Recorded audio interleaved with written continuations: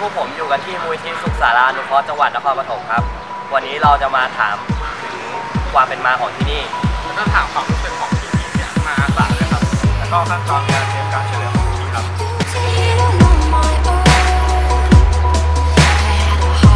ตอนแรกเริ่มจากอะไรก่อน ตอนแรกที่ว่าเราต้องเออรับแจ้งก่อนว่าที่ไหนอะไรเป็นเหตุอะไรเกิดขึ้นยังไงหาพิกัดที่แน่นอนครับการประสานจากศูนย์วิทยุต่างๆนี้เพื่อที่ ว่าให้ทุกค่ายกำลังอาสาสมัครแต่ละท้องที่ที่รับแจ้งเหตุนะครับ ไปถึงที่เกิดเหตุโดยเร็วที่สุด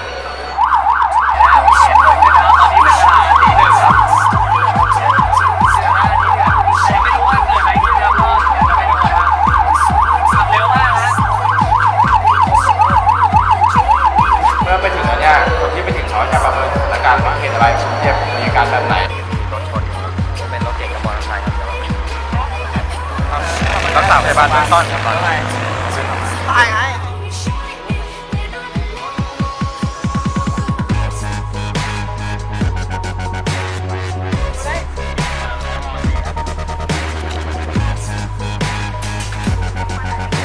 อ่าอุปกรณ์ที่ใช้ในแต่ละเหตุการณ์ก็จะใช้แตกต่างกันอ่าครับผมก็จะใช้แตกต่างกันไปก็ขึ้นอยู่กับหนึ่งอาการผู้บาดเจ็บด้วยสองอาการเหตุที่เกิดครับพี่ครับแล้วอุปกรณ์นี้แต่ละอย่างนี่ใช้ยังไงครับ ตอนนี้ใช้ก็เมื่อต่อเมื่อเรารับแจ้งก็ต่อเมื่อคือว่าคนเจ็บหรือว่าผู้เสียเนี่ยยังติดภายในอยู่ในรถครับไม่สามารถเอาออกมาได้ตอนแรกนี่คืออะไรตัวแรกเนี่ยมันจะเป็นเอ่อตัวช่างครับผมเพื่อที่สมมุติว่าเหมือนเล่นรถเนี่ยมันบี้ทับกันช่วอย่างเงี้ยเราไม่สามารถทำไงให้มันออกได้ก็ใช้ตัวเนี้ยใช้ก็ทำให้เกิดการล้างออก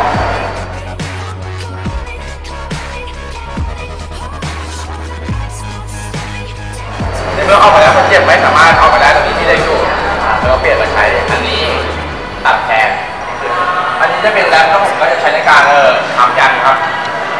ทีเหมือนกับว่าตัวรถกับตัวถังมันบี้ลงมาอย่างเงี้ย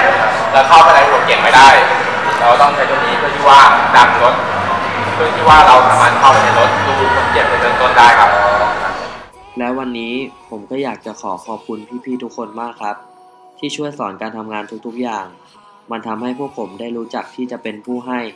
และการที่พวกผมได้เข้ามาเป็นส่วนหนึ่งของการช่วยเหลือผู้อื่นในครั้งนี้ทำให้พวกผมได้เรียนรู้ว่า การเสียสละโดยไม่หวังผลตอบแทน มันมีความสุขแบบนี้นี่เอง